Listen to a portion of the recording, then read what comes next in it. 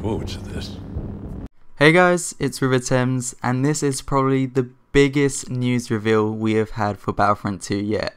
At EA Play, Battlefront confirmed that Clone Wars content is coming this year, starting in the summer.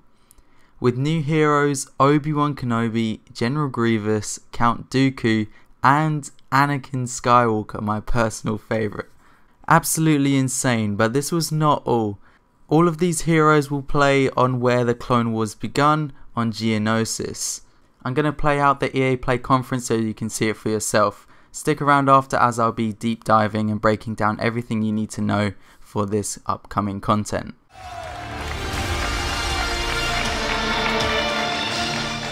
Hello there. My name is Dennis. I work at DICE in Stockholm on Star Wars Battlefront 2. I'm really happy and excited to be here today, so thank you so much for hanging out with me for a little bit. So, we launched our game in November of last year, and clearly we didn't get it quite right.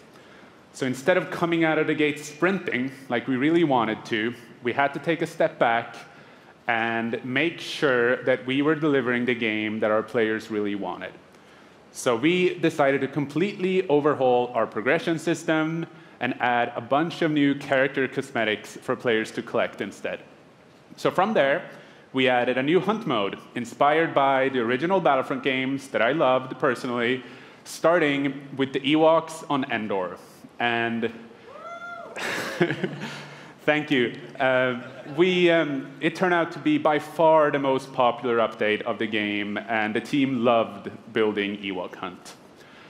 So, as you might know, we're currently in our Han Solo season with content from the movie coming next week. It's headlined by the new planet Kessel, a really dangerous place, and it features the return of one of our favorite modes, extraction.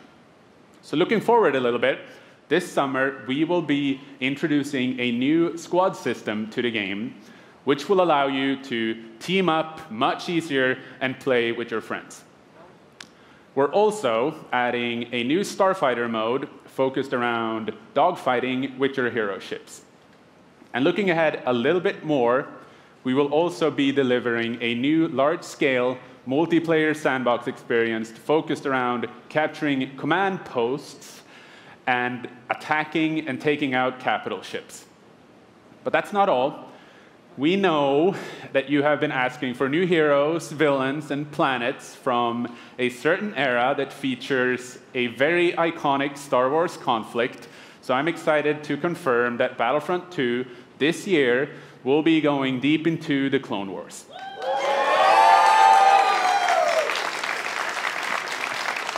It's only fitting that we begin on the planet Geonosis, featuring multiple levels including the largest level we have ever built for Battlefront.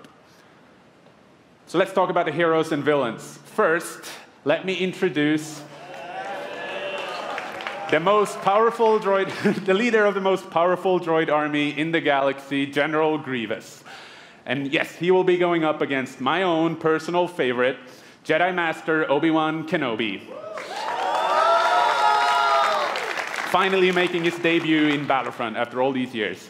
So, but we're, we're not done. That's not it. They will not come alone. Joining them is the Dark Lord and leader of the Separatist Alliance, Count Dooku, as well as someone to bring balance to the Force, Obi-Wan's unruly Padawan, Anakin Skywalker. The team at home is extremely excited to be building all of these cool things. EA and DICE are committed to Battlefront.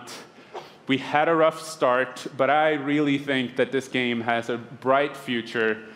Thank you very much for playing the game, providing us with your feedback, talking to us. Together, we will make this the greatest game that we can possibly build. There would be no Battlefront without you. So thank you. May the force be with you and enjoy the rest of E3. Thanks. So this is absolutely huge. So let's go and break all of this down and tell you everything you need to know for future content in the Clone Wars. There will also be a large scale non-linear game mode which features capturing command posts and taking down capital ships, which sounds very much like Conquest that I know would do wonders for this game. A new squad system is launching in the summer, an easier way to play and interact with your friends on the battlefront, as well as a Starfighter Hero Showdown mode. Basically, the way this game mode works is that you spawn as a hero ship. If you're defeated, you are spawned back as a standard starfighter. The first team to take down all hero ships win the match.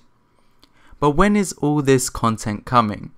Well, a community roadmap is coming at the end of June, with every piece of content coming in the next few months. With this roadmap, fans will know exactly what they're waiting for this time and get excited for the future. Geonosis is said to include multiple levels, meaning there will be more than one map in this DLC, and features the largest ever map made by DICE in Star Wars Battlefront.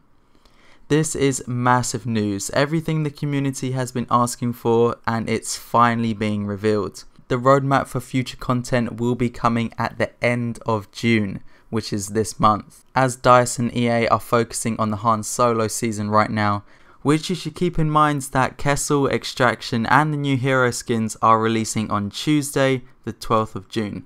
So, despite all of the hype around Clone Wars content, the new heroes, and the map, and everything to do with EA Play, save some hype for Tuesday because you will be getting a new DLC. EA Play was a massive turnaround for Battlefront 2 and it was great to see Dennis so excited on the stage to share and admirably admit their mistakes in the past.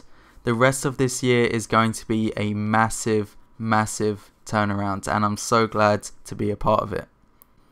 Thanks for watching, it's been Riva and I'll see you in the next video.